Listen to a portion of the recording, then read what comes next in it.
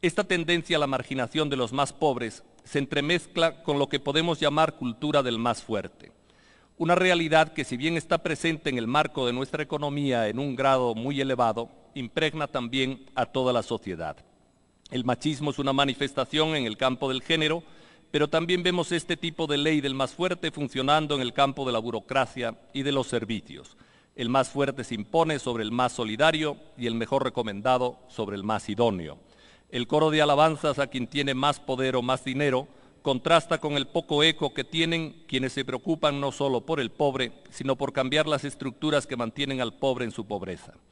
Incluso esfuerzos nacionales, como los realizados en torno al Plan de Nación que tuvieron su origen en círculos oficiales, dejan de tener relevancia cuando termina la propaganda y llega la hora de la coherencia con lo que se ha dicho y se ha escrito.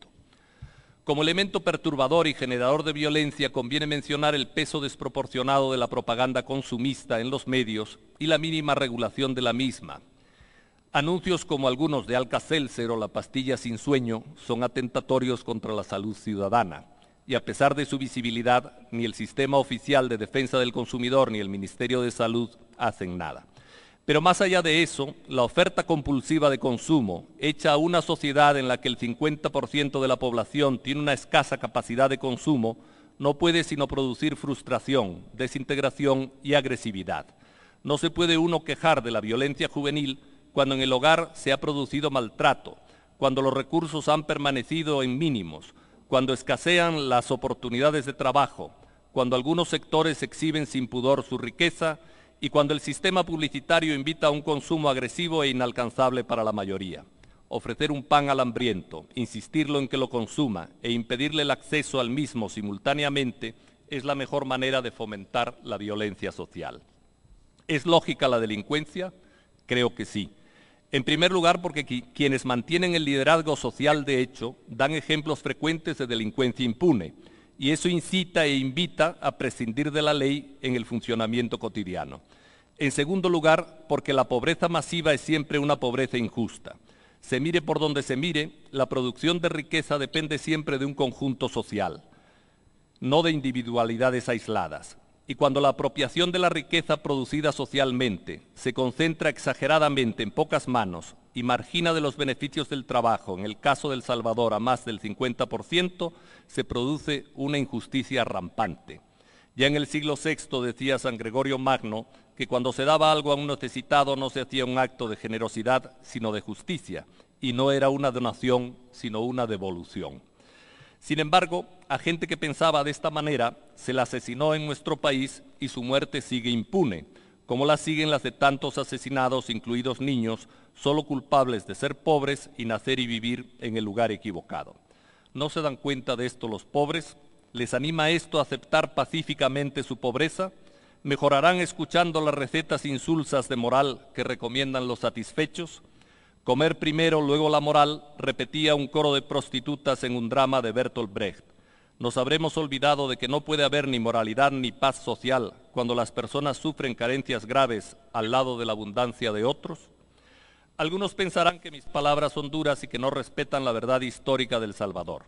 Desde los acuerdos de paz muchas cosas han cambiado y para mejor, y es cierto. No voy a negar los avances en el campo de la convivencia social y en el respeto a los derechos civiles y políticos.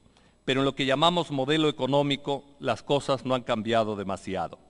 Si se han suavizado las protestas, es porque las remesas que llegan de Estados Unidos atemperan las necesidades urgentes de una parte de la población y porque los antiguos revolucionarios se han instalado con bastante comodidad en sus cuotas de poder. Pero la violencia social ha aumentado en el país como respuesta informal como rebeldía primitiva, sin cauces, frente a una situación que ofrece pocas esperanzas para una buena cantidad de ciudadanos. Quienes defienden el modelo económico suelen decir que es bueno, pero que no da los resultados porque no se aplica bien.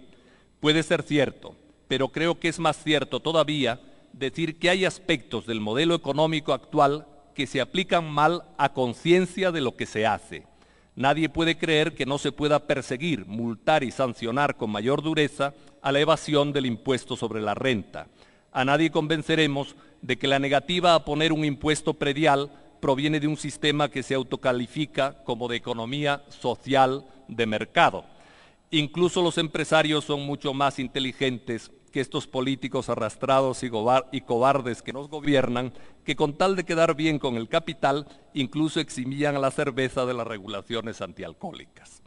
No estamos contra un modelo social de mercado. Eh.